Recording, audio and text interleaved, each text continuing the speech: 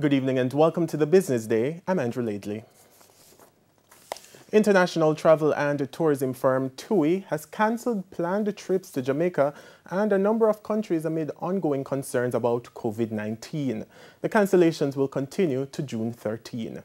While holidaying has resumed following the lifting of lockdown restrictions in the UK, TUI has updated its policies to cancel a number of trips to more high-risk areas. A statement on the travel operator's website said all customers affected by the cancellations will be contacted directly and will be able to request a full cash refund or change to a later date.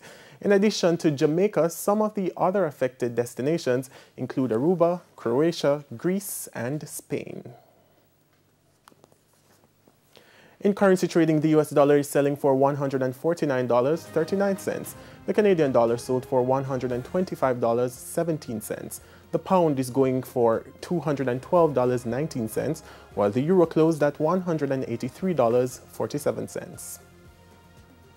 NCB Global Holdings is defending the offer price of stocks being offered in its subsidiary Guardian Holdings. This following concerns about affordability from investors. The company addressed the issues at its recently held investors briefing.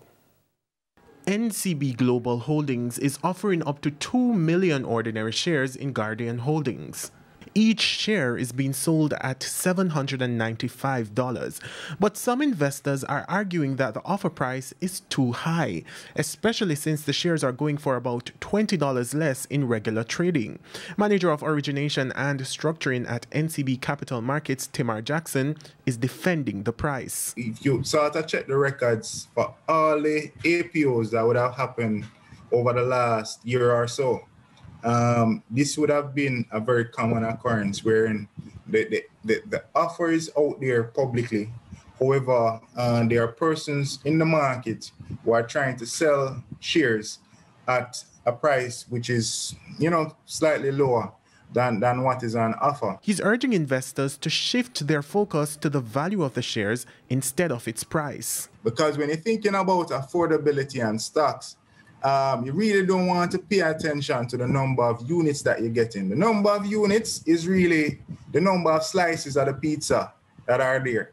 But essentially, if the pizza big, you're gonna be getting a big pizza, right?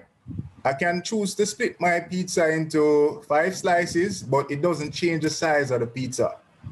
And that's the case with Guardian. He argued that the history of growth is enough to highlight the potential of the company. So, in terms of affordability, I would say there's definitely not an issue. In terms of accessible accessibility, we've made sure that the shares are accessible by lowering the minimum number of units that persons need to subscribe for, which is 10.